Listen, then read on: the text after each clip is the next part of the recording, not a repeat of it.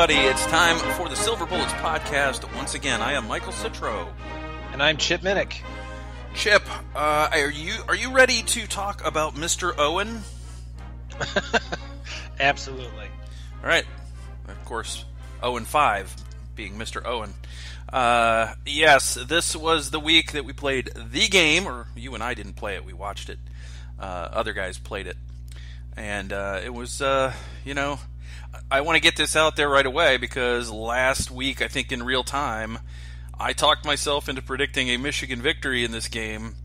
And although I, I was careful to hedge that and saying I could see Ohio State winning by four or five touchdowns, and uh, clearly my uh, post-traumatic stress disorder uh, from the John Cooper years got the better of me as I picked a Michigan win. I was the only one, I think, in our staff picks, and that did not happen. Ohio State held serve in the series and uh, continues to dominate the series actually, and uh, went into Ann Arbor, bombed Ann Arbor. Uh, and uh, the evidence of that is the giant hole in the ground in Ann Arbor where the game was played, actually. And uh, the Buckeyes win 56 27. So I'm curious, did you get a lot of colorful comments about your prediction from from uh, Ohio State fans? Not as many as you'd think. Uh, just a couple, and one of them was like before the game even started. Uh, somebody was uh, saying I was whack for uh, for thinking Michigan would win the game, and, and I wanted to just make sure that people knew I I didn't say Michigan would win the game. My prediction was that they would win the game, because my predictions are always gut predictions. It's like, what do I feel like will happen? Mm-hmm. And you can talk about stats till the cows come home, but in this series, we've seen that a lot of times stats and, and trends don't mean a lot. And so I know that it's easy for the younger generation who have seen only, what, one loss in the last, what, 15, 16 years uh, might find it hard to believe that someone would uh, predict a, a you know a win for Michigan in the series, but folks of, of your age and my age can understand why I might pick that. Oh, absolutely. I mean, it's when you went through a period of two ten and one under John Cooper that's why I certainly understood your apprehension about the game. I obviously I thought Ohio State would win, but I never expected them to blow the doors off the Wolverines the way that they did. Right. And, and the thing too was, you know, for for what we've seen and all the good things that we've seen Ohio State do this year, the biggest game that the team had played to date, the coaching staff kind of played it very safe and and I don't think that that same approach would have worked against Michigan. No, and I, that's kind of when we when we were reviewing the Penn State win. I kind of suspected that Coach Day was being deliberately conservative to, to hold back, that the game was won. He didn't want to showcase anything uh, that he might want to use against the Wolverines. So it wasn't entirely surprising. Like I said a moment ago, the thing that was most surprising was the final score. I never anticipated Ohio State being so dominant in every phase of the game you predicted a 10 point victory, 31 to 21, uh, but by virtue of me picking Ohio State or predicting an Ohio State loss, you won the predictions this week. So congratulations. Well, thank you, thank you. You have to admit, uh, uh, you have to admit that at the half, when it seemed as though it was kind of going back and forth. I, I can't. I, let me rephrase that. It wasn't even at the half because Ohio State had a pretty substantial lead going into the half, and I know we'll review the game here in a moment that it seemed like okay, this is going to kind of go back and forth, back and forth, and then all of a sudden, in the latter part of the second quarter, Ohio State pulled away.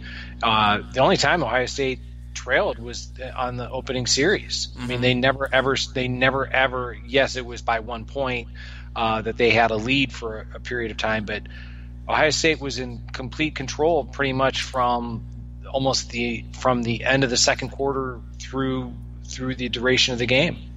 Yeah, it was an interesting game in in a lot of ways, and and you know part of my apprehension didn't even have anything to do with the loss of of Shaun Wade because at the time we recorded last week, we didn't know Shaun Wade would be out, so that kind of added to my angst a little bit as well on game day. I'm going to say, you know, I, I I don't sleep well the night before a Michigan game. I uh, I tend to get up very early uh, and I'm not, you know, by nature an early riser on the weekend. Uh, if I don't have something going on, I know that you get up early and you know you got stuff going on with your kids and that kind of thing. I mean, I'm I'm fine letting my kid sit and watch TV while I sleep in because I, I, like my sleep. But um, I didn't sleep well. I got up early. I was apprehensive, uh, very nervous for before the game, and a lot of nervous energy. And um, you know the, the the way it, I wasn't too worried about the the opening drive because we see time and time again a, a team will come out and have a nice scripted drive that, of things that they want to get done, and they look. Uh, you know, these are pr- plays that they've practiced. They've they've run them in, in, in drills over and over. They know what they're doing. They know where they're going. It's almost very machine like. But once that, once they do that, and the other team has time to adjust, you know, sometimes that that these can be extreme blowouts. Right. I, like you said, the, the, the first drive that was uh, kind of you know it was it was good to see that Ohio State, uh, even though the Wolverines came out and, and took the, the, early lead, Ohio State responded immediately, drove right down the field, scored a touchdown. Uh, as I said a moment ago, they never looked back after that point. and uh, I agree 100% with what you said that when we recorded the podcast a week ago, at the time we had no idea that Shaun Wade was not going to be a participant. Uh, that certainly would have impacted my predictions much more so than uh, 31-21. I'm sure it probably would have been even closer in my in my estimation. Mm-hmm. And, and I think the reason for that is that one of the things that Michigan does really well is one of the things that Shaun Wade is good at stopping. And if he's not going to be in there to stop it, um, you know, you, you, would expect Michigan to have some success. And indeed, they did. It took it took the Buckeyes a few drives. Um, I mean, it really took them until halftime to really get everything ironed out and get people all on the same page. But I think a lot of what uh, happened in the first half was Shea Patterson getting the ball out quickly. Um, Ohio State not getting a lot of pressure on the quarterback for various reasons. Um, partly Michigan doing a good job on double teams and uh, running uh, away from certain players, but also getting away with a little bit of uh, uh let's just call it you know questionable tactics and move on. um, but credit to them, they came out and they they got Ohio State confused a few times. They got down the field. They got aided on the first drive uh, by what I thought was a pretty ticky tack uh, late hit out of bounds as the Michigan player had just stepped on the sideline when he got bumped and not terribly uh, roughly bumped, uh, and that was a 15 free yards there.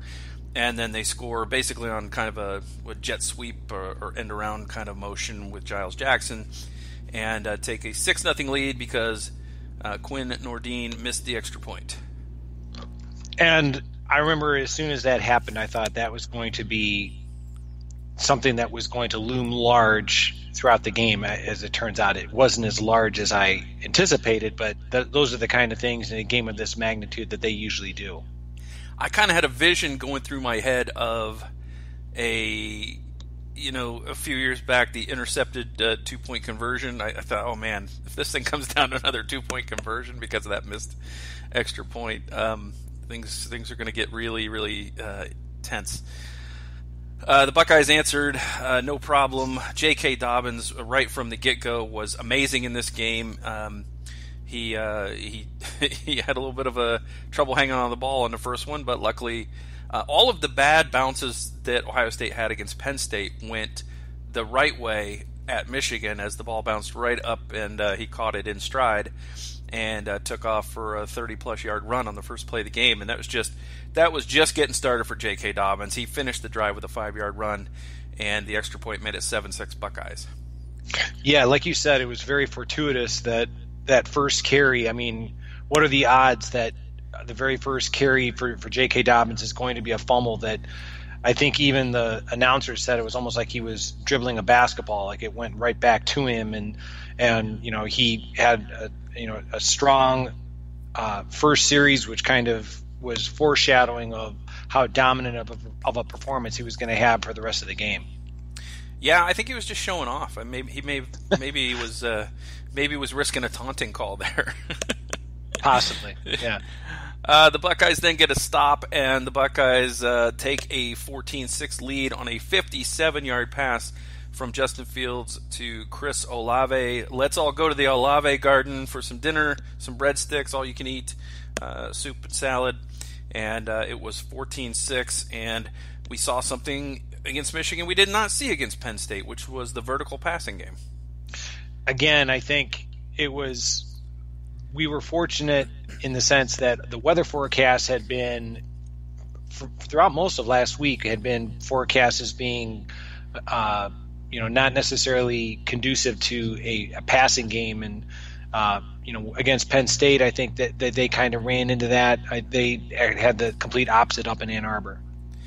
Yeah that was a um, you know it was Justin Fields didn't do real good out of the out of the box. And you know, we talked about it last week at first time quarterbacks in the game don't tend to perform well, and I think it, you know, to me, it, it looked like butterflies settle the kid down. You know, later in the game he'll be okay if he just finds his rhythm. Sometimes players, you know, sometimes quarterbacks in this series in their first start don't ever find that rhythm. But I, I felt kind of confident that he would at some point. And I had somebody kind of getting up in my mentions about he looks bad like he did last week, and I thought, did you read the stats from last week's game Penn, against Penn State? Because I think he only had six incomplete passes, no interceptions. So yeah. I'm thinking he didn't have a bad game against Penn State. He was handcuffed by the play calling, uh, you know, a lot of short passes and a little bit by the weather and a little bit by the fact that uh, you know you you could talk about the fumbles and maybe that was uh, you know something you could point to, but uh, I didn't expect a return to that, and indeed we didn't have a return to that. But uh, after the Buckeyes scored, Michigan only needed three plays to go 75 yards, and uh, Donovan Peoples Jones uh, scored from 25 yards out from Shea Patterson and Chip, this was a play where Ohio State had some confusion in the secondary, and again, you know, not having Shaun Wade in there and having some different people kind of going in and out, and um, not having worked together as a unit. Uh, there was some you would expect to have some confusion at some point, and, and unfortunately was here. And a great assist on this play by the right tackle, who uh, put a really nice, warm, you know, Disney-esque Olaf frozen hug on uh, Chase Young to uh, allow Patterson to get that pass away. yeah, we were kind of wondering, uh, you know, if the officials were necessarily truly observing everything that that the television cameras were catching, but like you said, uh, I, li- I like the way you said it was kind of almost like a Disney esque type uh, embrace, if you will. nice. You know, he just he loves warm hugs. He's mm-hmm. just like he's just like Olaf. You know, who among us, I've said this before, who among us doesn't want to give Chase Young a hug? Right. There you go. All, I think we all do.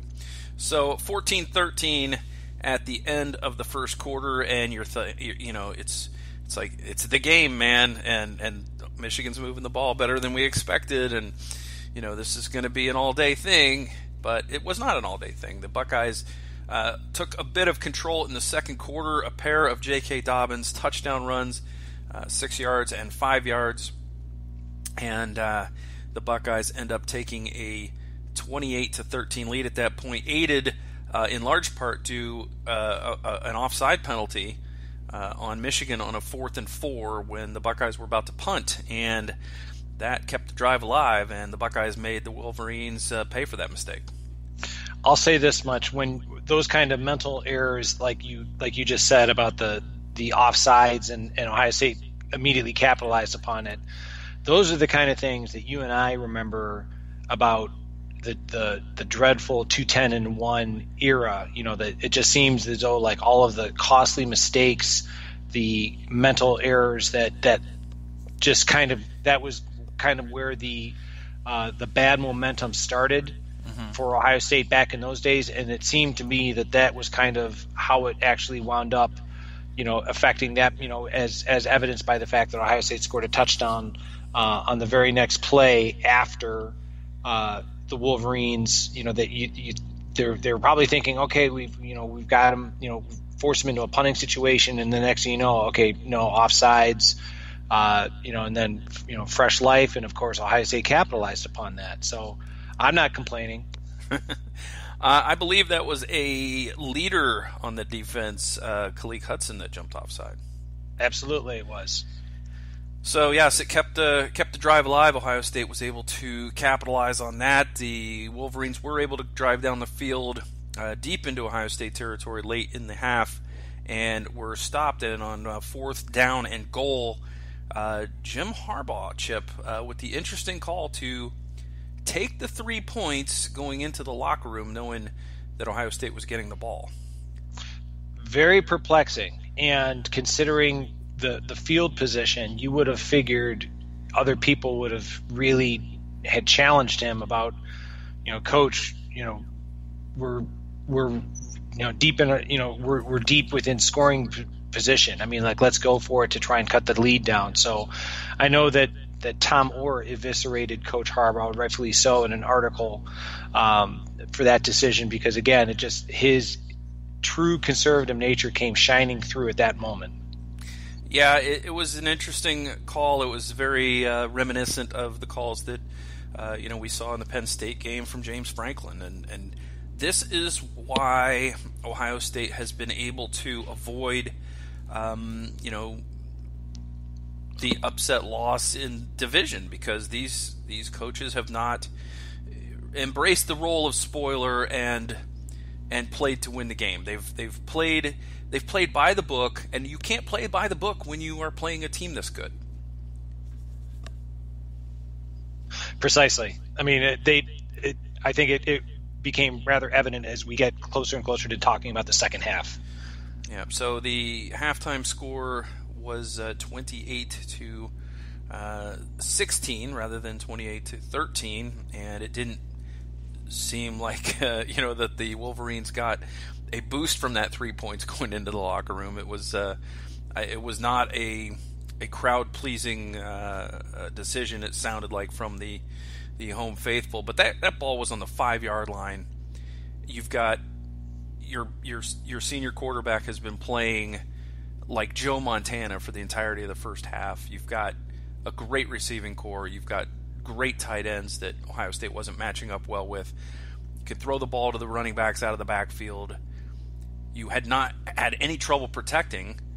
So that that really all of those things added together those are supposed to be absorbed over the course of the game by the coach. The coach sees what's going on, is supposed to be processing this, and knowing all of those things were in Harbaugh's back pocket, he turtled and decided to kick the field goal. And and I said, "Awesome," you know, because I at that point I didn't think the game was over, but I did feel a lot more comfortable about the game at that point.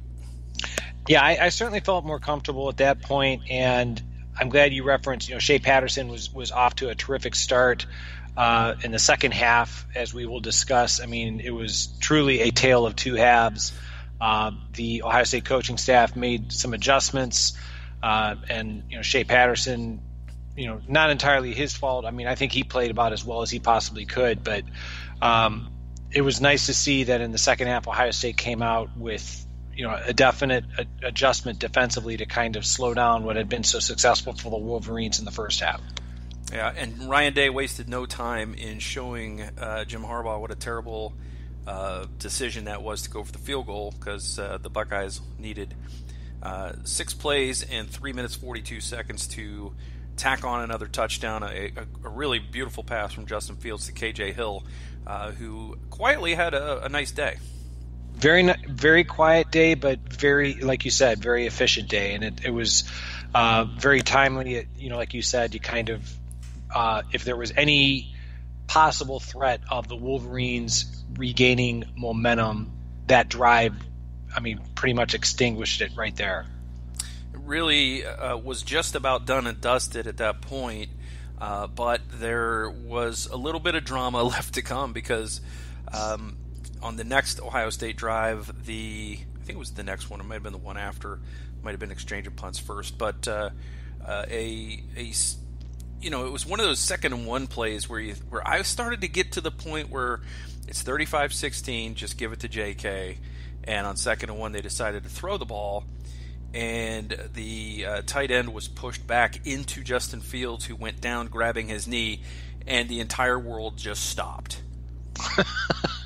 yeah, I, am not laughing because that, that's I, I, think that that's very accurate. I'm sure that uh, you know, like you said, we were watching it from uh, the comfort of um, from of home. You know, we weren't in Michigan Stadium, so we have no idea if all of the oxygen was completely drained out of the Ohio State faithful who made the trek into enemy territory. But uh, it certainly did seem very, very disconcerting at that point.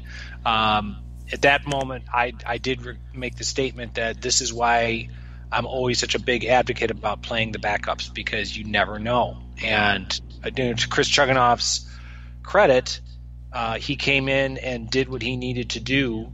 Um, you know, for, for the for the few plays that he was in while while uh, Justin Fields was being tended to. Yeah, Chugunov was not covered in glory from his outing at Rutgers.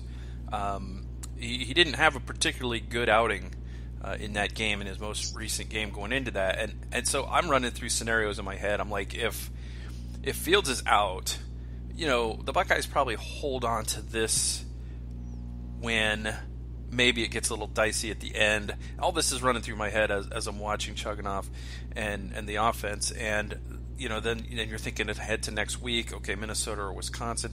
Maybe the Buckeyes defense is good enough to where we can win that and, and still get in the playoff, but I don't see this team winning a playoff game with Chugunov and and and then around the time where this was still kind of going through my head, uh, Chugunov makes a nice throw. Well, actually, it wasn't a great throw; it was a low throw, but it was a completion for a first down. And then Justin Fields is out of the tent and he's got his helmet on, and you're going, "Whoa!" Because a minute ago he's on the turf grabbing his knee, and and for all uh, for all the world, it didn't seem like anything good was going to happen from that point on.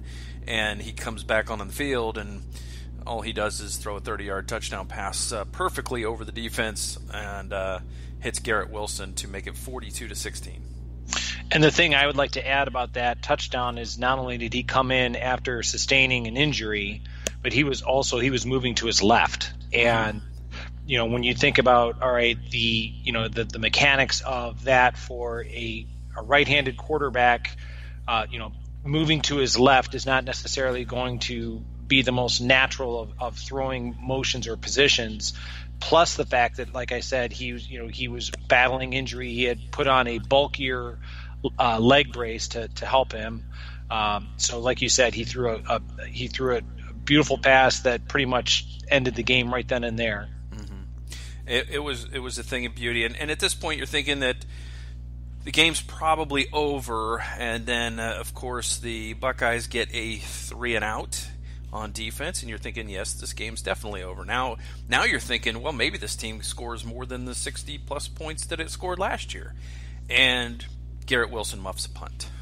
Yes, yes. Uh, careless mistake. I'm sure that that is something that's going to be hammered home to him repeatedly because that's the kind of thing that is as the as the games uh, the importance of the games uh, continues to rise. You know, the stakes get higher. That you know, those are the kind of things that can can mean the difference between winning and losing. Now, unfortunately for Ohio State, they had a substantial lead, and it did not turn out to be a deciding factor. But it's certainly something that is cause for concern going into the Big Ten championship. Sure, and I mean, if you you go back in Ohio State history, it's not hard to think of muffed punts uh, that have cost Ohio State games and, and championships. Even um, you know, you, you go back to Philly Brown, uh, a game that Ohio State was in control against Clemson. Philly Brown muffs a punt. Clemson comes from behind to win.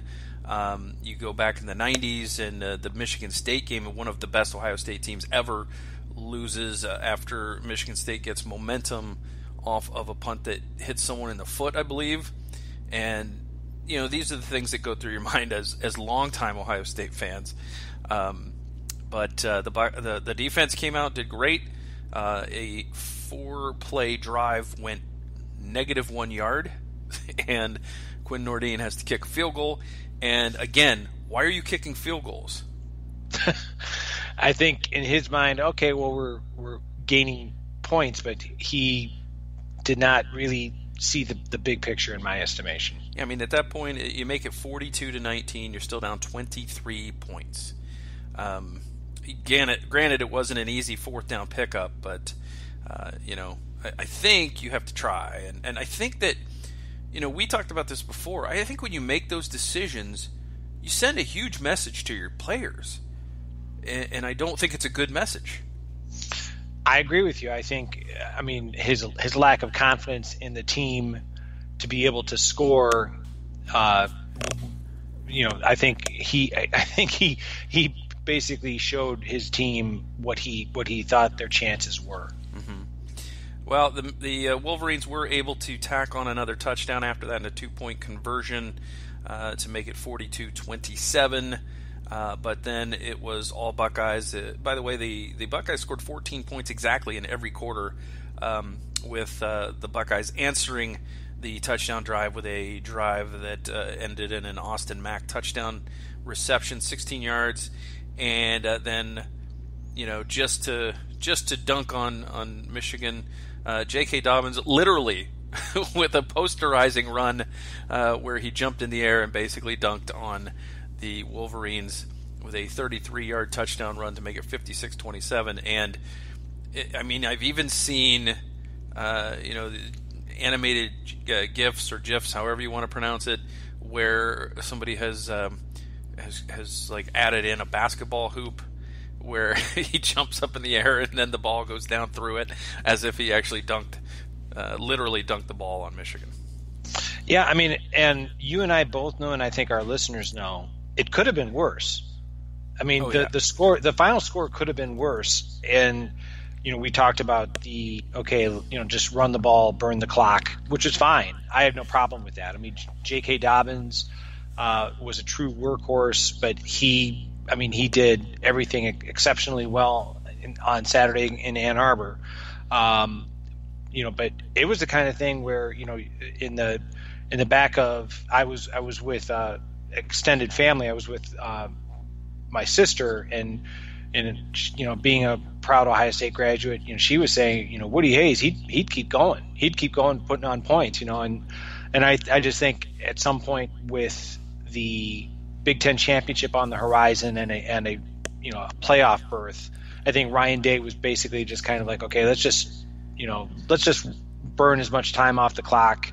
You know, we're gonna win uh, let's just get out of here without any any uh, further injuries. Like they they were fortunate with Justin Fields. I guess like the only other comment I would make about the final score is that not only it could have been worse, but I, I guess if you want to look at it as potentially as somewhat insulting, is that Ohio State had put in their second string, you know, just basically saying like, yeah, you know, like you know we're that confident you know like there's nothing you can do you know to stop us. We're just going to put our backups in just to kill the clock. Mm-hmm. you know it's kind of you know maybe i don't want to call it insulting but just basically it's like man we've got this. I mean the, just just come and take your whooping and and let's call it a call it a day. Yeah it's what you know i don't even think that the buckeyes were particularly trying to score all that hard when dobbins broke the 33 yarder. They were just kind of you know, being conservative, running clock, and he he just saw this gaping hole outside and cut it to his right, and all of a sudden he was in the end zone. Yeah, I agree with you. By the way, why on earth, of all the plays that got reviewed that day, was that the one you would review? I couldn't begin to tell you. I mean, that was. I mean, it. you know, I, I know that they, they want to review the touchdowns, but I mean, it was it was as clear as day that he had broken the plane. He was not out of bounds. I mean, it just made me wonder. Yeah, I'm I'm like you. I, I don't understand what they were thinking. It was it was pretty insane. Uh, it looked from every angle pretty obviously like a touchdown, and and then it, the the the review seemed to last a lot longer than it should have been. Um, so of course that one went Ohio State's way. The the review of uh, of Jordan Fuller's uh, initially called targeting uh, was uh, overturned, and I think rightfully so. I think that's a case of a, a safety coming up to try to make a hit. The receiver ducks his head into the hit and initiates the contact because you know part of that forcible contact in you know in the head or neck region you know, if the if the if the receiver's going to dip into that hit, that's how it becomes a hit to the head. If he stays upright, and it looked like Jordan Fuller stayed, I, I guess about eighty percent upright. Like his knees were bent, but he wasn't like ducking down. He didn't like stick the the crown of his helmet down or anything. Uh, and it looked to me like that was only a hit to the head because the the receiver ducked into it. Oh, I agree. I I was glad to see that they overturned it because the whole targeting fiasco that I mean that what that call is, and I'm all for player safety. You know that, but uh, you know we we lament not knowing what is targeting. You know, it, it, it, certainly seems as though that the definition of it changes considerably week to week. So I was happy to see that Jordan Fuller was not kicked out of that game because that would have meant he would have missed the first half of the Big Ten championship. So I'm, I'm happy that they made the right decision in, in overturning that call.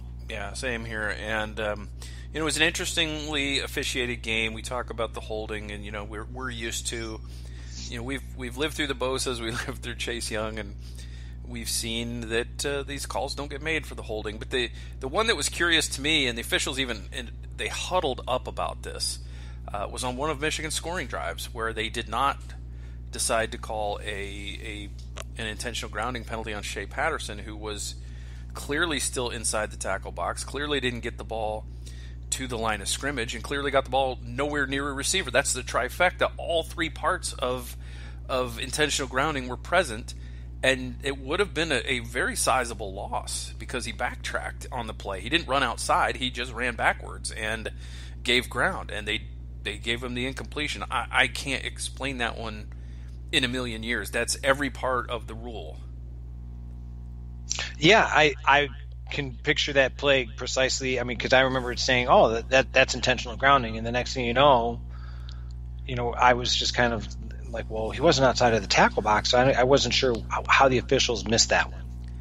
And, and the official that uh, you know, there was an official near where the ball landed and it didn't reach the official who was standing near the line of scrimmage. So he knew that the ball didn't reach the line of scrimmage. and He also could very easily look around and see there was no one in a home uniform in the area. So, I mean, it, it is what it is. I, I don't want to pile on, but I thought that was a talking point at the time because, again, Michigan did score on the drive. So, you know, again, like you said, it could have been worse. And, you know, if anybody wants to say, you know, you're a homer or you know everybody complains about the officials no one thinks the officials are good i actually went back to look to see if maybe is this just me and so i went back specifically to look at holding. And i found some very interesting uh, i made some interesting discoveries. This was a very quick little five to ten minute review of every box score with the with all the play by play and what I found, Chip, was that this season, uh, Ohio State has been called for, uh, has been penalized, accepted holding, offensive holding calls 14 times this season. Four just alone by Thayer Munford, including one in this game. And Ohio State's opponents have been marched backwards for holding three times all season. Two of those were in the Northwestern game. The That's interesting. Was, the other was in the Rutgers game. Uh, the two in the Northwestern game were on running plays, so they weren't even in pass protection. So that means that only in the Rutgers game was there a flag that was accepted for holding on a pass play against Ohio State's pass rush. I believe it was against Chase Young, uh, holding Chase Young, but I'm not I'm not positive. I'm going on memory on that one. There was another flag for holding on a pass play in the Penn State game but that came on fourth and long on Penn State's last drive, and of course Ohio State declined that because the ball was incomplete. Uh, so um, I, I, find that interesting that Thayer Munford has more holding penalties uh, marked marked off this year than all of Ohio State's opponents combined. Yeah, I mean, it just makes you wonder. I mean, for all of the complaints that we have about officials, I mean, for you to be able to kind of cite statistics like that, it does make you wonder you know, what are the officials? What are they seeing, or more, you know, more accurately, what are they not seeing? Well, in my Twitter, if you go to uh, at Mike36fan on Twitter, you can find the thread, but where I talked about these. Uh, there are two very blatant holds, uh, one in the Michigan game, one in the Penn State game, uh, that are, are you know photographic evidence of two plays that were not called holding.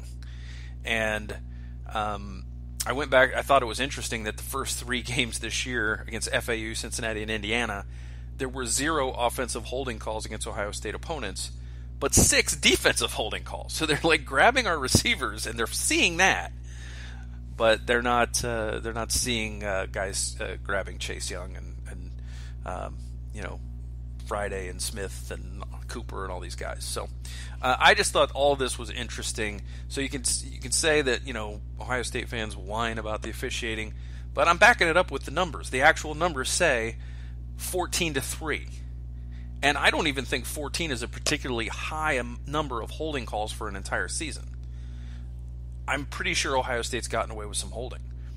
But I think on the balance, it's pretty fair to say Ohio State's opponents have gotten away with far more holding. Yeah, I, I completely agree with you. So I don't want to beat that into the ground. I just came up with that research today and wanted to share it. So, you know, do with it what you will completely ignore it if you want. Uh, fantastic day statistically for the Buckeyes, and you and I are geniuses because my pick to click uh, on offense was the Big Ten Offensive Player of the Week, J.K. Dobbins, and all he did was uh, carry for 211 yards and four touchdowns, and uh, he had uh, another. Uh, let's see, how much did he have through the air? 49 more yards through the air. So, uh, pretty pretty good day for J.K. Dobbins. Yeah, completely. I mean, yeah, I mean, J.K. Dobbins, he was the workhorse that uh, we we anticipated, and he came shining through. I mean, like in terms of, I mean, he he was what made that victory possible. Without I believe, a doubt. Uh, I believe he's just the fourth Buckeye to rush for 200 yards in the game, and I think all of them have come since 2007. I believe it's uh, Ezekiel Elliott, Carlos Hyde, and um, Chris Wells. I believe yeah. those are the other three. So, congrats to J.K. Dobbins having a fantastic uh, end to the season, uh, the regular season. That is, Justin Fields was your pick to click, and uh, a little bit scary early. It took him a while to get going. Just 14 of 25, which is not great, but 302 yards, four touchdowns, zero interceptions, and sacked just once. Uh, I'd say Justin Fields clicked like uh, an Emmer effer. I would agree with that as well. All right. Um, so good day for Justin Fields. Uh, on the opposite side, uh, Shea Patterson, 18 of 43. He's, he was what, like 14 of 19 in the first half? Yes. And threw for uh, a ridiculous number. It was over 200 yards, 250 yards, I think, in the first half. It was like 4 of 22 in the second half. And so he ends up with 18, 18 of 43, one interception thrown to Amir Riep. Congratulations to Amir Riep, who was uh, picked on a bit in the first half. Uh, 305 yards, which is a lot of yards, but considering almost all of that came in the first half, uh, that's kind of important, and only one touchdown. I will say that in the second half, he was the victim of a lot of drops. That um, Patterson had a lot of drops in the second half. Um, I remember for sure he had three, and I think I think Peoples Jones had two, Ronnie Bell had one. But the thing that I noticed Ohio State doing differently was it looked to me like they said, okay, we're not getting pressure on the outside. It looked like they ran some stuff to get pressure up the middle, and it looked like Patterson got really nervous, and he was throwing a lot of passes off his back foot. Uh, missing open guys because you know he was again not using good mechanics uh, getting a little bit of happy feet back there, getting a little nervous. And once he, he got nervous and got rattled a little bit, he had trouble getting back to it. Yes, he, he was victimized with some drops. Ohio State had some too. I think Olave got hit in the face mask with uh, one pass that you're like, I'm not sure how he didn't catch that. It hit him right in the face. But um, so I agree that yeah, he, he he had a couple that his teammates didn't help him out on, but he reverted. I, I think if you take the the Joe Montana like or Tom Brady like first half that he had, he definitely reverted back to the median. Oh, certainly. Like I said, I I, I definitely think um, he he was a, a, a big contributor to the poor play offensively in the second half. I just know, like Donovan Peoples Jones, he was one of those guys that uh, Ohio State actively recruited and did not get. Um, you know, for pure talent sake, like I've heard Urban Meyer say, like Donovan Peoples Jones, he he is a possible projected first round draft choice mm-hmm. in the NFL whenever he does come out. Um, my point being that yeah, like you know, Peoples Jones, it seemed as though I mean just some of the some of the things that he was doing in the first half, all of a sudden he was not doing in the second half. Like you, you mentioned, Ronnie Bell. So hey, I'm not complaining. Like I said earlier, right. Um, Hassan Haskins was the big rusher for Michigan. Uh, 12 carries for 78 yards, uh, six and a half yards per carry, uh, which was almost as good as JK's 6.8 yards a carry, but really, really helped by one 33 yard run uh, to really skew the uh, you know the numbers there because otherwise he's he's down to what uh, 45 yards on 11 carries, which is is fairly pedestrian for the game, I think. So I think overall Ohio State did a good job of stopping the run. Uh, there were a couple of times where there was one where Baron Browning missed a tackle and it, it, led to a long run and and that kind of thing. But I think overall the Buckeyes did well against the uh, the rushing game for Michigan, and we expected that. Uh, on the receiving end, last year's breakout man was Chris Olave, who had uh, two catches, 68 yards, and a touchdown on Saturday. This year's breakout man was Garrett Wilson, three catches, 118 yards, and a touchdown. Uh, other than the muff punt, he had a great day. Yes, he did. Like it, we we talked about the the muffed punt earlier, and hopefully he gets his concentration and gear for Saturday in Indianapolis. But you're absolutely correct. He had a wonderful, he had a, a terrific day for the Wolverines. Uh, Ronnie Bell, six catches, 78 yards, no touchdowns. That's about what Ronnie Bell typically does, and considering the fact that he's the guy that would have been uh, Shaun Wade's responsibility much of the day, um, that's actually a decent job by Ohio State overall. Uh, Peoples Jones had only three catches, but 69 yards and a touchdown. Um, the 25 yards of that was the touchdown. Um, uh, not a huge day for Sean McKeon. Uh, three catches uh, for 66 yards. My cat agrees with that. Three uh, three catches, 66 yards, no touchdowns.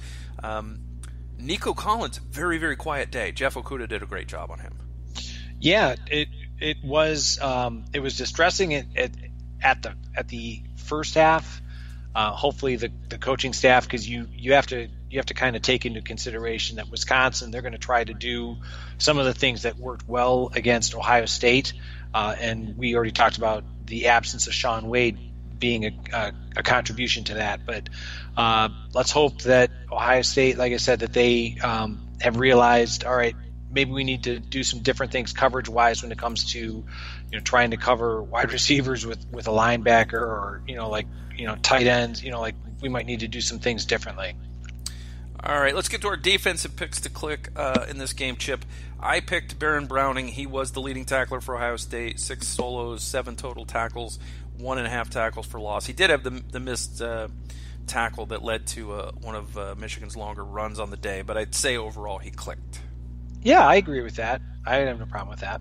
Uh, big day for DaVon Hamilton. He had uh, a sack, two tackles for loss, five overall tackles. Jordan Fuller, five tackles, was a a real beast in the secondary.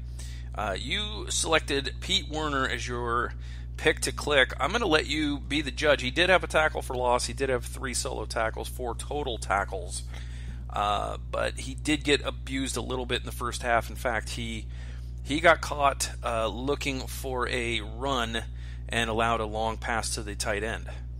Yeah, I would I would say he did not click. Yeah, it wasn't the best game for Pete, although um, he had a good second half, I would say. Yeah, he improved like the rest of the defense. Absolutely. Yeah. All right. Uh, so that was uh, that was it for the game, man. It's uh, it's eight in a row. Um, there's no word yet as to whether Ryan Day is opening up the one and zero oh pint house. Hopefully, maybe they'll just brew him a special beer or something. How's that? That'd be good. Um, Jim Harbaugh is 0 and 5, and he got a little salty when asked uh, why there was such a big gap between Ohio State and Michigan.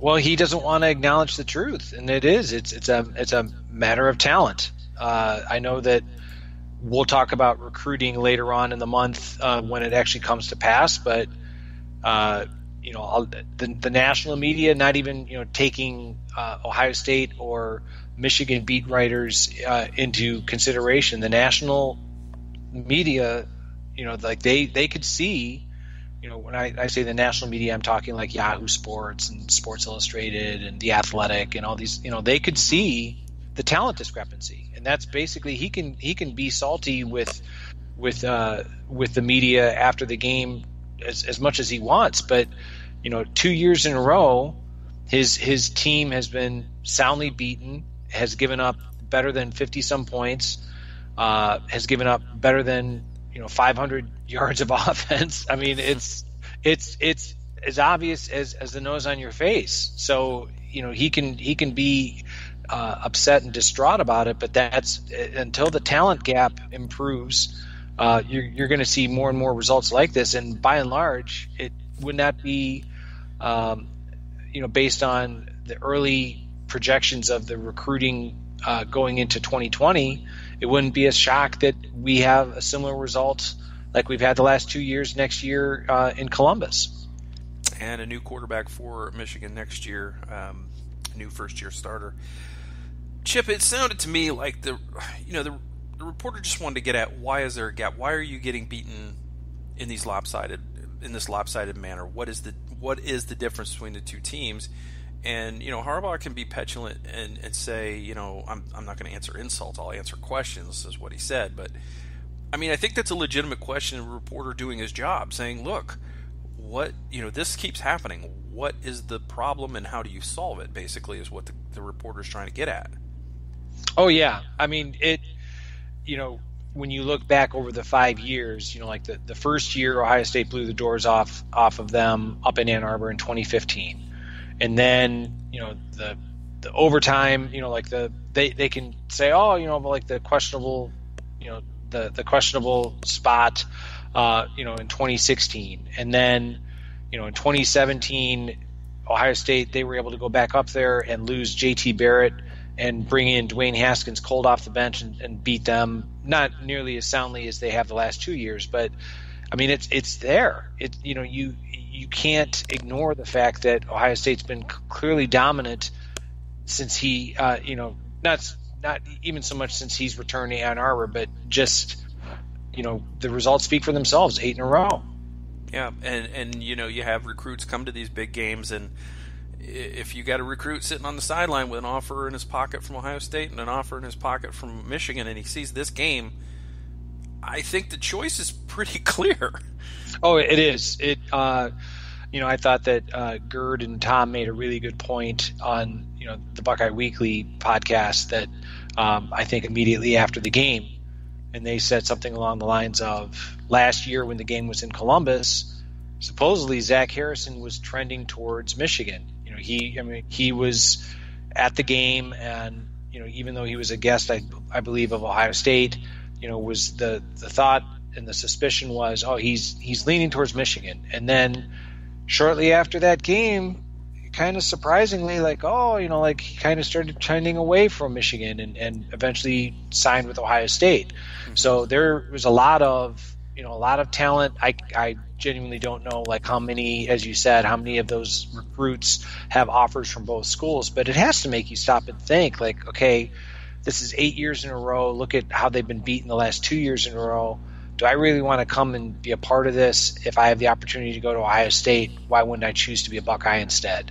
Yeah, I mean, it, it, it does it does make it more difficult. It does make Jim Harbaugh's job more difficult, I think. But um, uh, after the game, also uh, when asked about the the rivalry and uh, and why Ohio State's been so successful, and, and, and you know we heard this year that Don Brown had said, you know that that Michigan had been planning for this all year, and we thought, well, maybe they finally get it. Maybe they finally get how Ohio State's been successful by making this a point of emphasis, not for a week, and not just when fall camp starts, but every day, 365 days a year, every year. And maybe they finally get that. And yet, after the game, Justin Fields said they don't take it as seriously as we do. And I think that uh, I, I think that the perfect illustration of that was in this game, because Jonathan Cooper Chip is redshirting, and he had one game left to play. This is a team that might make the national championship game. Jonathan Cooper chose to play in this game, and that shows you what it means to these players. Here's a guy who could play for national championship and maybe be a difference maker in the final game uh, on the last day of college football. And he said, "You know what? I'm not going to worry about if we get there. I want to play in this game." Yeah, I, I agree with you. I, I, I certainly believe that it does mean more. Um, even before the results of this of this past weekend, I seem to recall maybe last winter, may, it, it had to have been at least during the winter workouts that Greg Mattison, who who came over from you know from from Michigan to be Ohio State's defensive line coach, um, and and you know a co-coordinator um, I should say defensive line coach because that's Larry Johnson's domain, but I know that that's kind of his expertise. Uh, that Greg Mattison freely admitted, yeah, you know, like the intensity of the workouts, the intensity of the rivalry, everything at Ohio State was far more than anything he had experienced up in Ann Arbor. So, yeah, I, I completely agree with Justin Fields' assessment. All right, 56 27. Uh, that is a, a lopsided score. That is a covering the spread score. Yes. All right. The Buckeyes move on now to the Big Ten Championship where they will face Wisconsin for the second time this year. First time they've got an in season rematch in a long time. We'll get to that later in the program. Uh, Jeff Hafley was named as a finalist for the Broyles Award for the top assistant coach in the country. And my question to you, Chip, is not whether or not Hafley deserves to be there, because obviously he does.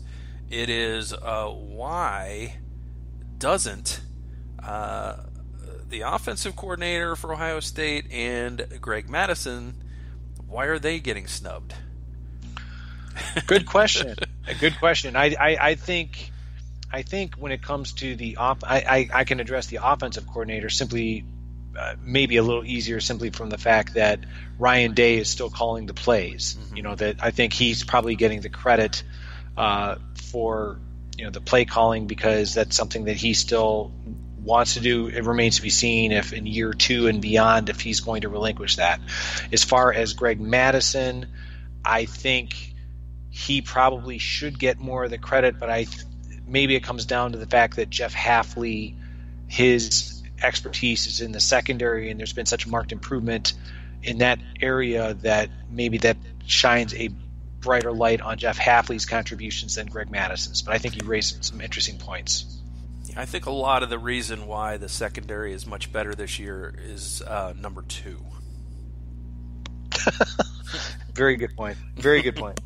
not saying that they're not playing lights out because uh, you got Damon Arnette, Jeffrey Okudah, and, and Shaun Wade all playing like they're going to be first half of the first round draft picks in the NFL draft, um, you know, obviously that's going to play a major factor. But it also is very helpful when you only have to cover a receiver for about three or four seconds.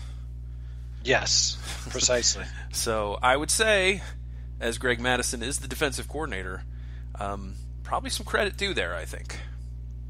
I yeah, I think you're onto something. All right, uh, let us move on in our uh, topics then to. Uh, we already talked about uh, J.K. Dobbins being the uh, Big Ten Offensive Player of the Week. He was, of course, the uh, Offensive Player of the Game for Ohio State, co Offensive Player of the Game with Justin Fields. the co Defensive Players of the Game for the Buckeyes were Jeffrey Okudah and DaVon Hamilton.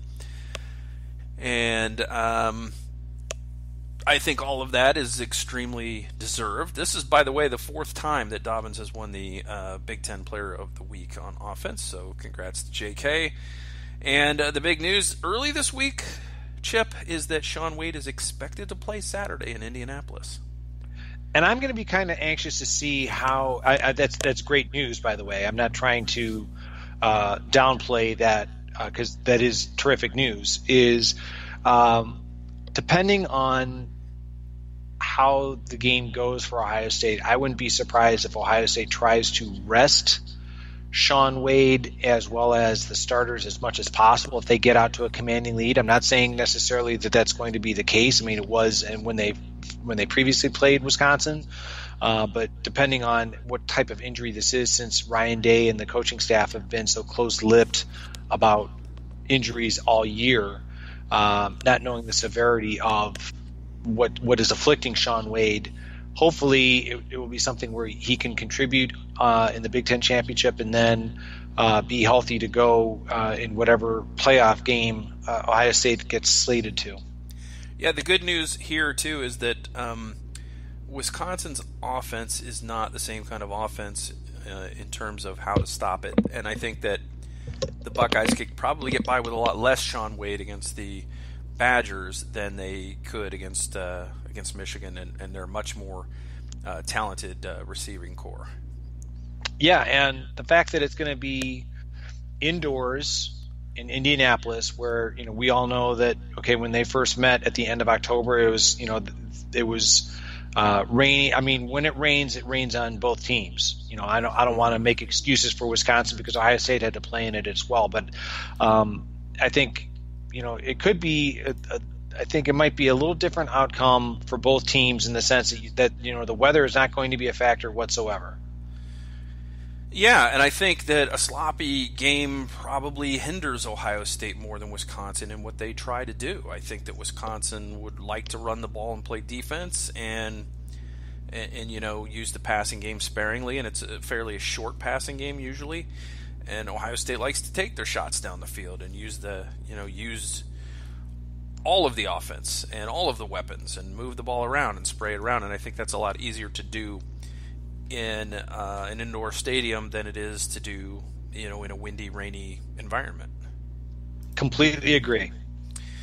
All right. Before we get to the Badgers, though, um, and the the Badgers and the Buckeyes for what is this the third time in like the last five years that these two teams have met in the Big Ten championship? You got it. That seems like a lot. yeah, it's uh well that's the thing. Like I mean, uh when you know the fact that they played uh, the legendary 2014 game where Ohio State blew them out. Uh, they, they, played a couple years ago in 2017.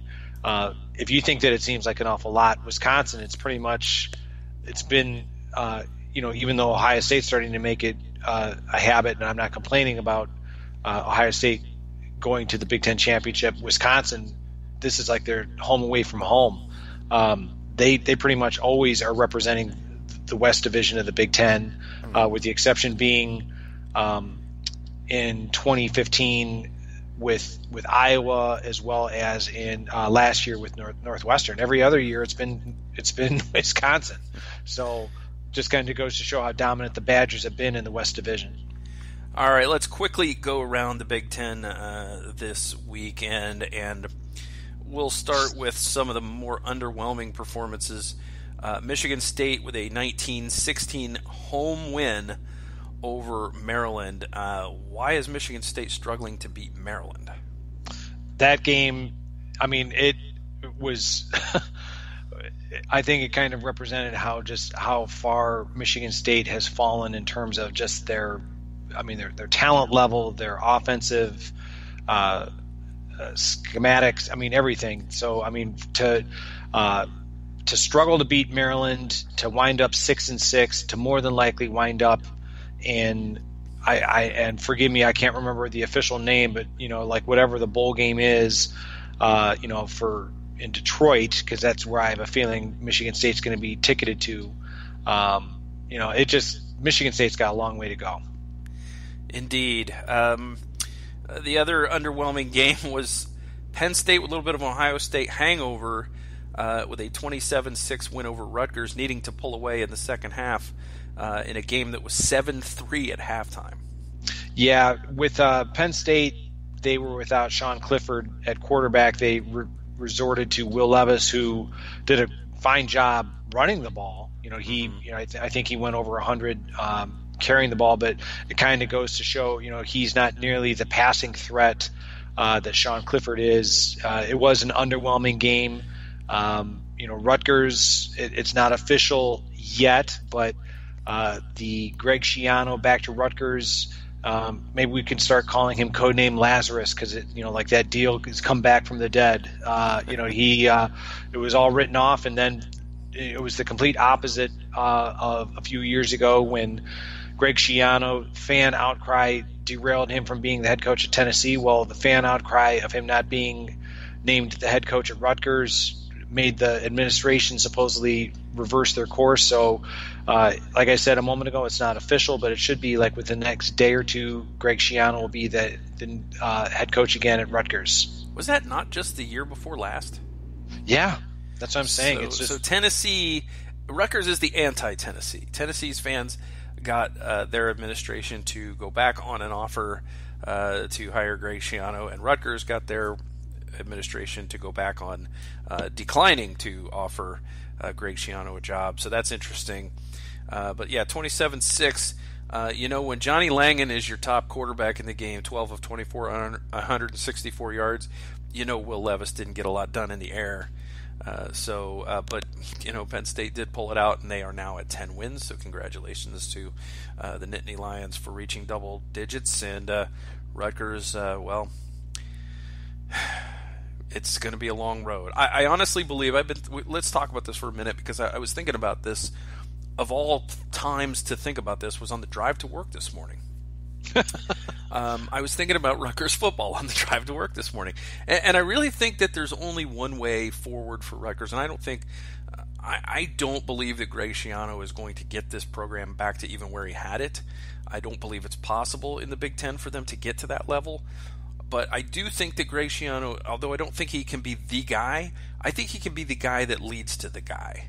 And the only way that you can really do that is this: if you're Rutgers, you have to you have to overcome the stigma of being Rutgers, and and all of the baggage that that that you know kind of uh, comes with that, and that's from years and years and years of being inept. And the only way to do that is to distinguish yourself somehow. Now, there's two ways you can really do that. Uh, there's two things you can do that has nothing to do with recruiting, and both of these things help with that. One of them is go around the country, see what everybody's got, and beat it. What are your facilities? We can do better. Go out and whatever crazy things are going on, Alabama's waterfall or whatever, uh, Clemson I think has a slide, whatever they have, double it. Just throw crap tons of money at it and build the facility to end all facilities. And yes, it's going to be hard to get that paid for. Yes, you're going to have to you're going to have to do a lot of fundraising. Um, but if you get that, that will help you. The other thing you need to spend money at uh, on and throw money at is assistant coaches because if you can pay Schiano's assistants enough money that even if you don't get the top recruits, you may be able to develop your recruits better than other you know better than other schools can. Does that make sense? Yeah, absolutely. So you, I you have these you have these uh, you know very good uh, teachers of the game, and you bring them in and you say, look, we're going to pay you a lot of money to be our assistant coach, and it's going to be enough money to where they're not going to be, oh, is there a job open at Temple?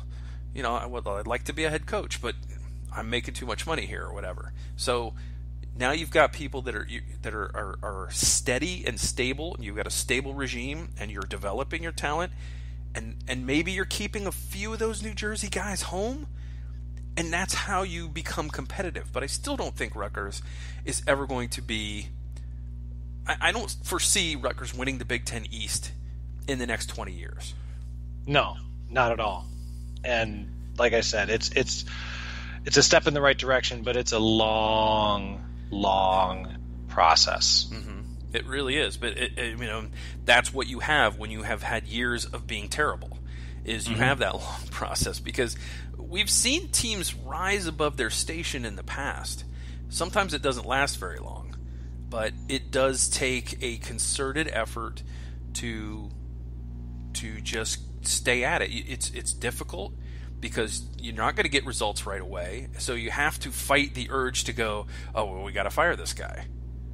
You, you have to fight against that and against your instinct to say a head needs to roll so I can appease some people.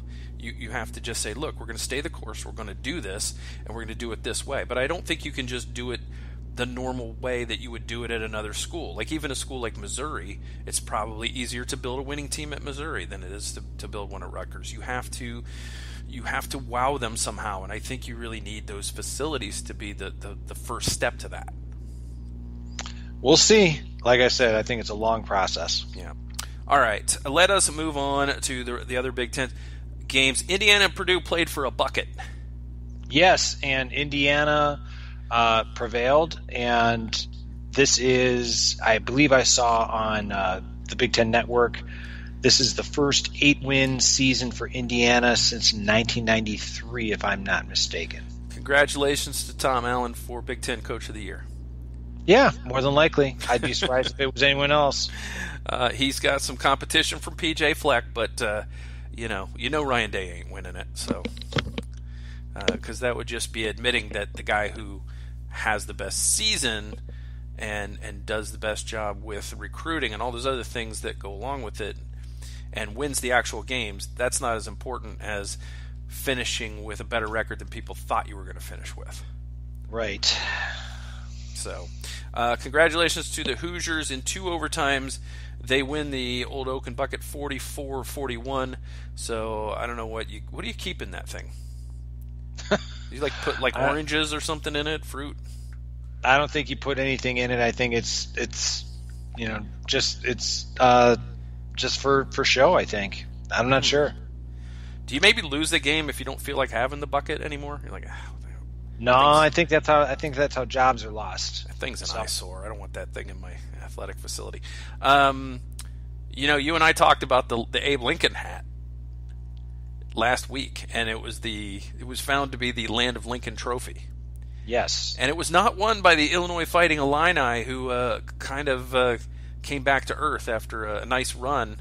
Uh, they fell to six and six with a 29-10 loss at home to a terrible Northwestern team that finally won a Big Ten game. Yeah, I'm happy for Northwestern that they finished the season on a positive note. It's very disappointing though for Illinois who were riding high based on their you know their their upset of Wisconsin. You know, like the mm-hmm. the, the way that they played earlier in the year that that sparked them to get to bowl eligibility and for them to to come out and lose to a very poor Northwestern team that was riddled with injuries to the to the fact that uh, they had a backup defensive back by the name of Coco Azima for Northwestern come in, uh, run for over 120 yards and a touchdown. Um, it just seems as though Illinois kept their they, they took their eye off uh, the focus of this game, and uh, like Michigan State, they're limping into the to the bowl games scene. You know, at six and six, who's to say like they might get that quick lane bowl up in Detroit uh, instead of Michigan State? I'd be surprised because um, you would think that the quick lane bowl would want to capitalize on the hometown team, but uh, yeah, Illinois did not really necessarily give a lot of optimism for their performance heading into bowl game season. You know, if you've got dry, cracked skin, you could use some Coco Azima. There you go. There you that go. Sound, that totally sounds like something you would put on your put on your face to moisturize. I I could see it. you don't even know how to react to me tonight. I think. uh, um, all right, so uh, that brings us to Farmageddon with Iowa visiting Nebraska. This is a game that Iowa had wrapped up at halftime a uh, a 24 to 10 lead, and then all of a sudden they did not have a 24 to 10 lead. It was 24-24 after three quarters, and Iowa with a field goal to win it. 27-24 to get to nine victories and assure uh, an automatic 10 more years onto Kirk Ferentz's contract. Yeah, it was a disappointing end of the season for Nebraska. Uh, you know, they'll be sitting at home um, with a five and seven record. Uh, they're getting better, but they they still need better recruits. They need a better defense, obviously, mm-hmm. uh, to truly start to make positive strides within the Big Ten West. Yeah. And let's stay in the Big Ten West for the final uh, game uh, of the weekend that we will talk about, and that is the the right to play Ohio State in Indianapolis came down to Wisconsin at Minnesota, And uh, the Gophers struck first and led 7 0 after the first quarter. Uh, Wisconsin fought back in the second half. It was 10 7 Wisconsin at halftime. And then just too much Wisconsin in the second half. Minnesota got worn down. Uh, they made too many mistakes on offense. They could not stop the uh, running uh, running game with Jonathan Taylor in the short passing game of Wisconsin, and uh, they they I believe they turned the ball over a few times in that second half as well. And Wisconsin wins 38-17, a surprisingly lopsided score to me. Yeah, very very surprising lopsided score. And Minnesota, they uh, started off obviously, you know, with you know, they're arguably the the best season in, in school history, and down the stretch, you know, kind of faltered with you know the loss to Iowa and obviously the, as you said this lopsided loss to Wisconsin. But it, it shouldn't take away from the fact that they won 10 games for the first time and I I want to say at least uh, 14 years. I remember there was a 2005 team I'm, I do not have it in front of me but I remember when Glen Mason was the head coach they had a, a very good team that um, I'm not sure exactly what their final record was but I want to say that they won 10 games but um, remains to be seen what bowl game Minnesota is going to get. It should be a good one with 10 wins. Uh, you know, you got to figure that the Golden Gophers are going to travel well, uh, considering the fact that this is their most successful season in, in several years. Uh, but now it's on to Wisconsin for Ohio State, uh, a rematch uh, in the Big Ten championship, uh, and we'll see if the if the Buckeyes can make it two times in a row in in one season. Yeah, you and I talked uh, a while back about the the Minnesota North uh, the, the, Minnesota schedule in in November.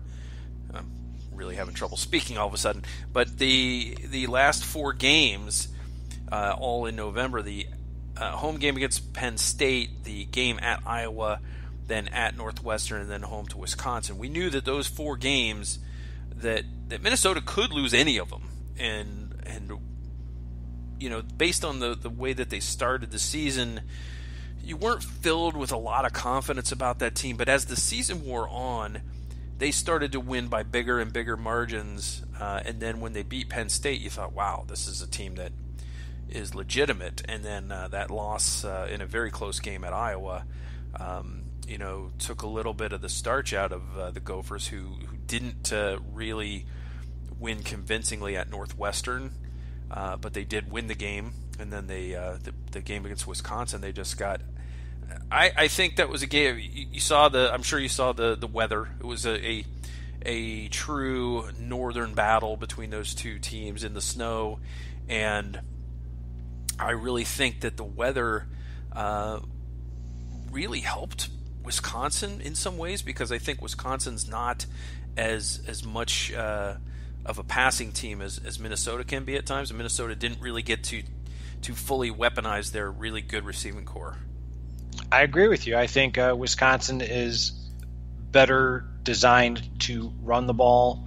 Uh, I think at, at, this stage, Minnesota is better designed to pass the ball. And as you said, the weather certainly seemed to have more of an impact on Minnesota uh, than it did on Wisconsin. Yeah, and it wasn't like a crazy big day for Jonathan Taylor. He he, he had two touchdowns, but only 76 yards. Yeah, yeah, he um, was not nearly the uh, nearly the the, the big uh, big play factor that that I think Ohio State fans and college football fans have grown accustomed to seeing from Jonathan Taylor. Yeah. All right, so that's our trip around the Big Ten for this week. Um, Chip, you and I have been asking people you know, for some time to get their questions in for the Silver Bullets podcast mailbag, and we actually have a question this week. Okay, let's have it. So there's before we do that, I just want to tell people how they can ask us a question on any uh, for any given podcast, and that is uh, to hit us up on Twitter. I am at Mike36fan, and Chip is at Chip Minnich. Last name is spelled M I N N I C H. Uh, hit us up on Twitter with the hashtag SBP mailbag. And if you do that, we will certainly answer your question on the show. So this week's uh, question, I actually have to pull up because I got a ton. I was just leaving it in my notifications and I got an, an absolute crazy ton of uh, of uh, responses today, notifications, uh, likes, and retweets and stuff. So we got a question from Tyler Shoemaker, Buckeye Tie 23 on Twitter, uh, and he wants to know: Are you more concerned with the first half pass defense or encouraged by the second half adjustments? I will. I guess I'm just gonna.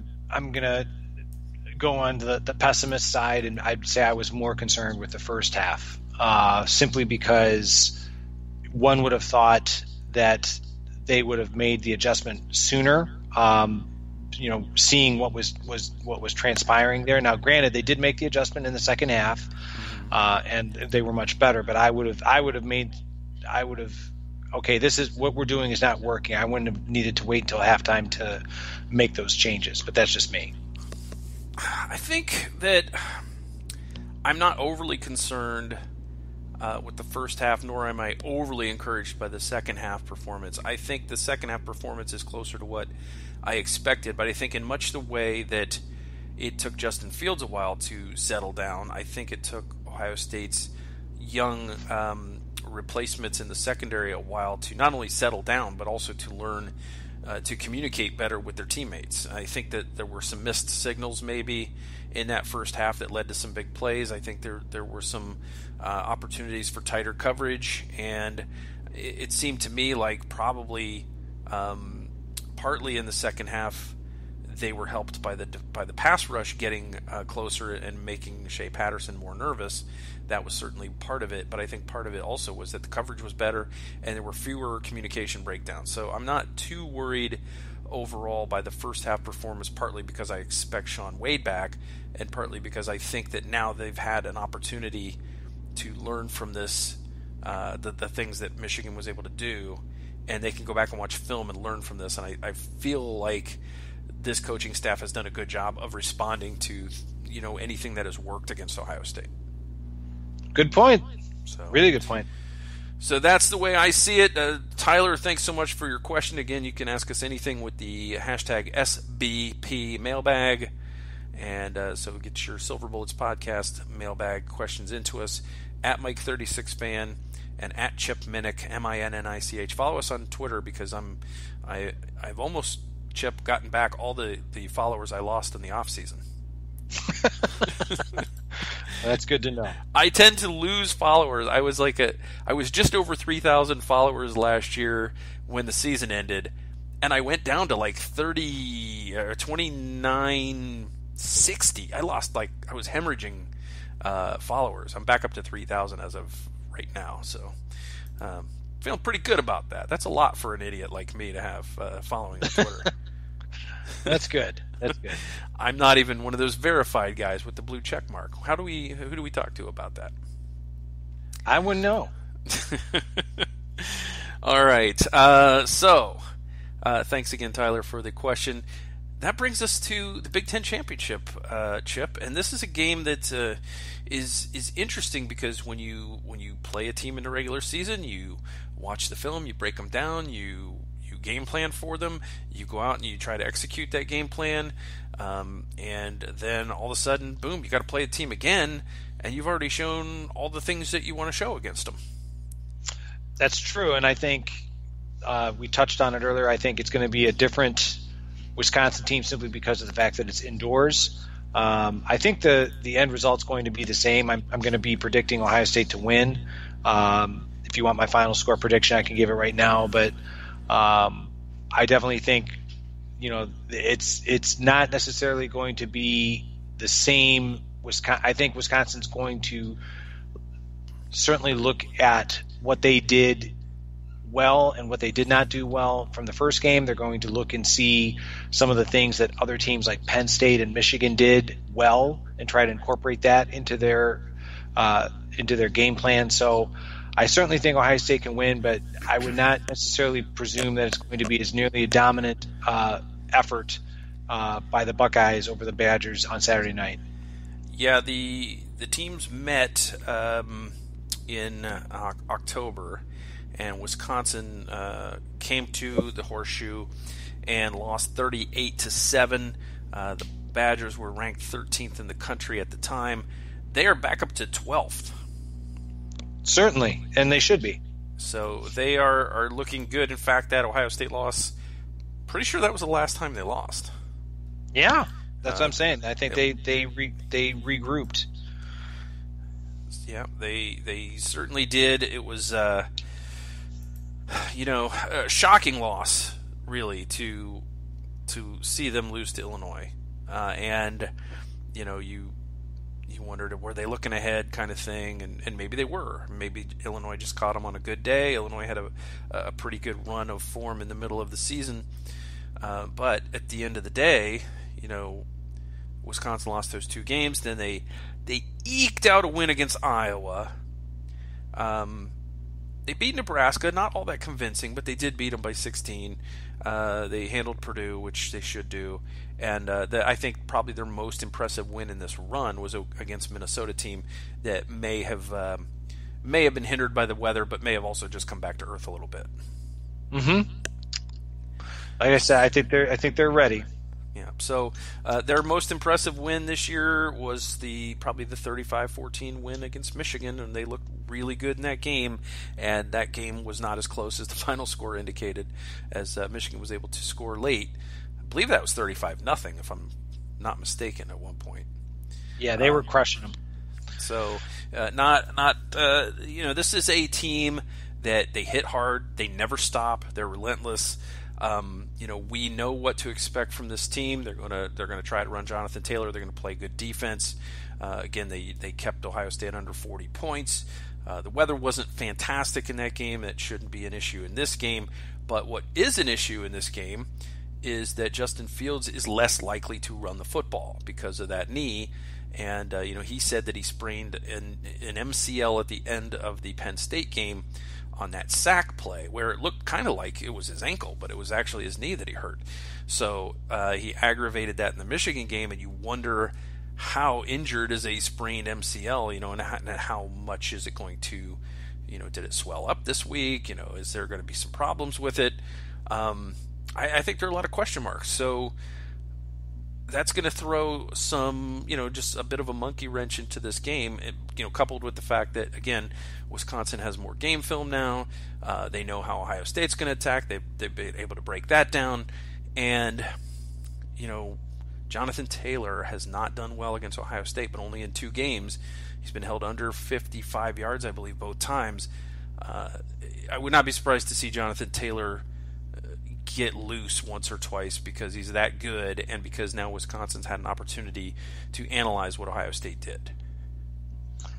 Yeah, I, I, I think he's he's certainly due. I'm certain I, he's certainly eager, but I, I have faith that Ohio State's going to do everything they can to bottle him up. All right, so we know what to expect from Wisconsin. Um, they're kind of the same year in and year out. It kind of, to me, comes down to can Ohio State continue to stop the run and can they keep Jack Coan from making enough plays uh, in the passing game? And uh, uh, so I need your score prediction. I'm going Ohio State 42, Wisconsin 21. 42 21. Okay.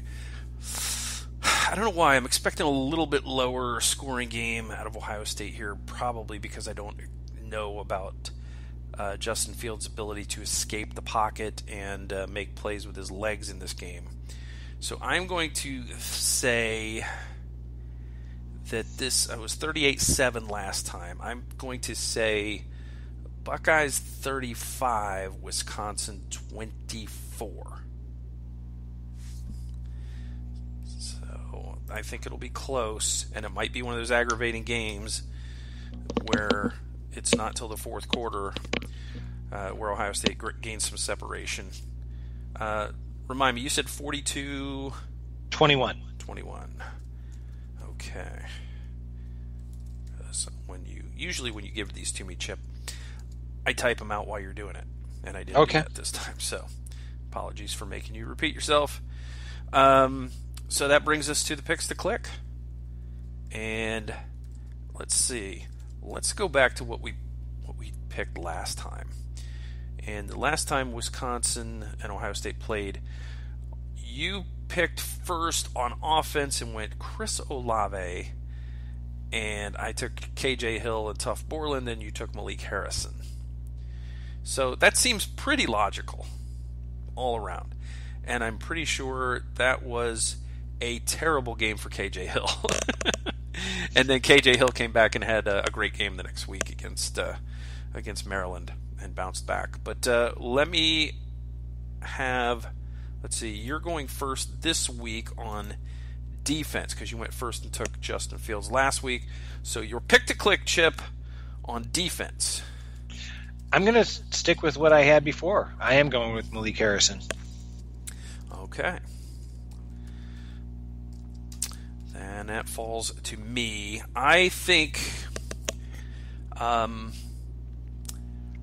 I, I think it's a bounce back game for Chase Young. Chase Young got held. I think he's he's he's probably not happy that he had a, poor statistical outing, and that some of that Heisman Trophy talk might have cooled down a little bit. So I think he bounces back. Like the last time uh, I went with somebody um, that was coming off a bad game, uh, they ended up with a good game. So I, am going to go with Chase. Think he'll make a difference in this game. That brings us uh, back to the offense. Hmm. And I thought last time that this seemed like a KJ Hill type of game, but KJ Hill didn't have a great game in that one. They ended up going down the field a little more in that game. I have a weird feeling that this is going to be a game where somebody comes has to come out of nowhere and have a good game. I, I think it's been a long time, and probably too long, for uh, this individual. I'm going to go Ben Victor. Mm. It's, been a, it's been a while since he's had a good game. I think he's due. Okay. What do you Interesting. got? I'm going to go with somebody who we talked about that uh, his focus and concentration wasn't there. Um, but I'm going to go with Garrett Wilson.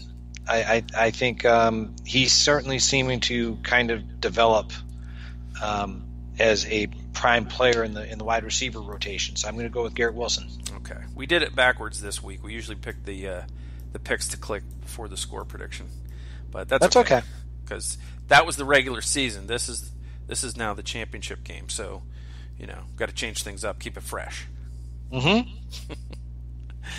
All right. Uh, well, here it comes, Chip. I mean, you and I blinked and the regular season ended.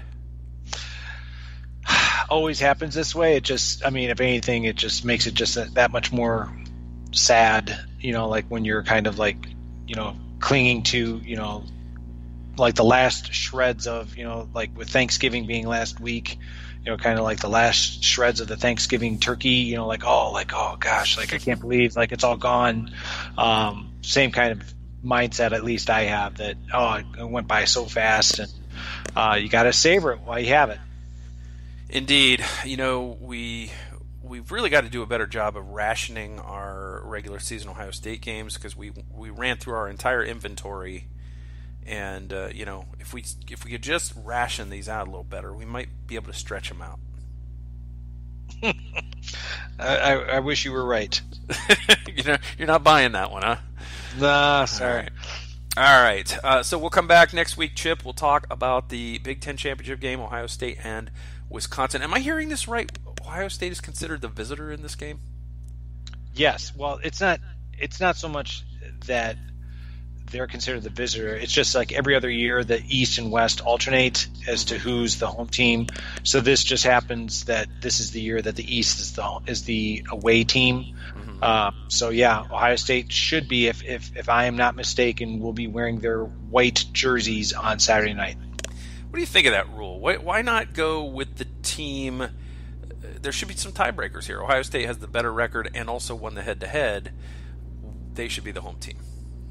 I would agree with you. I just think, you know, like I think that they're just trying to be as as equitable as possible between the two divisions. Let's face it. Um, you know, like with Ohio State, this, you know, we both predict Ohio State to win. Mm-hmm. This would be the, this would be the third year in a row that the East would win. You know what I mean? Like it's yeah. it's one of those things, you know, that um, I think that they're just trying to be as as equitable as possible. I mean, I, I go back now that I think about it if this comes out, uh, just doing some quick math, this would be the the this would be the fifth year in a row because um, Ohio State in 2014, Michigan State 2015, Penn State, don't forget, they won the Big Ten East, even though Ohio State got the playoff berth, um, and they they defeated Wisconsin. Um, and then you know you've had the last two years with Ohio State, so I, let, me, let me I guess that would be the sixth year. Let me rephrase that.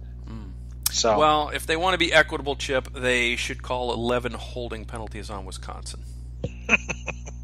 That'll even things up at 14. yeah, yeah, yeah. We'll see. and Wisconsin is um, a bit of a reputation for, for being a bit handsy. Uh, but uh, we will see what happens on Saturday night in Indianapolis, and we'll come back and talk about that next week.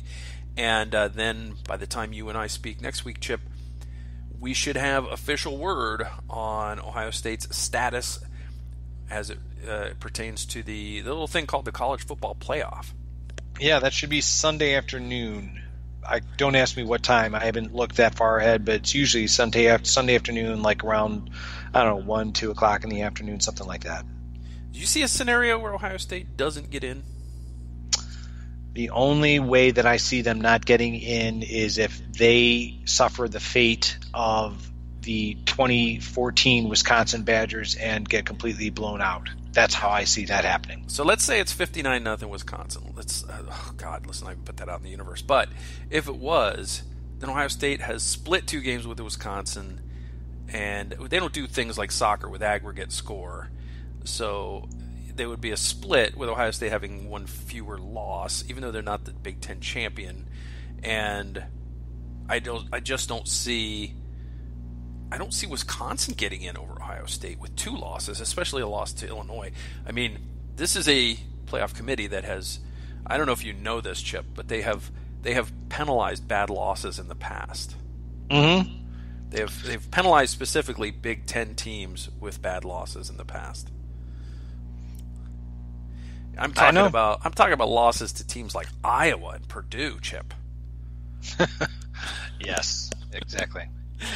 Uh, but yeah, so I, I, let's not even let's not let it come to that. Let's let Chase Young be the wrecking ball on Saturday night, and uh, we'll come back talk about it next week. Get ready for the postseason beyond the championship game for the conference and bowl season. Looking forward to it. Yeah, maybe you and I can uh, go through the bowl games uh, game by game and uh, make some picks or something, and then we can uh, keep score, and then we can find out how bad we are at making picks. It's an idea. All right, so uh, we'll do that next week. Thanks everybody for listening. Uh, please, uh, you know we are we are blessed and fortunate to be part of a wonderful uh, group of shows on the Ozone Radio Network. So please give those your attention. The Buckeye Weekly, of course, uh, which uh, I mean, when do they not have a show? They have a show seemingly every day. Sometimes you have to be a Patreon uh, member to to get some of those shows, but they have two to three shows every week where you get them absolutely free. So give uh, give Tony and Tom a listen, and uh, give the Buckeye Sloopcast guys a listen. They uh, they drop every Monday and Friday, so they record they record Sunday nights and uh, Thursday nights, and uh, you can grab those uh, if you subscribe. You can grab them at midnight. They'll just download to your phone or your your podcast catcher. And please, if you haven't already, please subscribe to ours and head over to iTunes. And it'd be really uh, great if you could leave us a a star rating and review, and because that's how we get found by more people. So we appreciate everybody listening. Be back to do it again next week, and uh, it's go time, man. It's go time. It's postseason. Looking forward to it. All right. Let's sign off then the way we have uh, made it a habit of doing. Go Bucks! Go Bucks.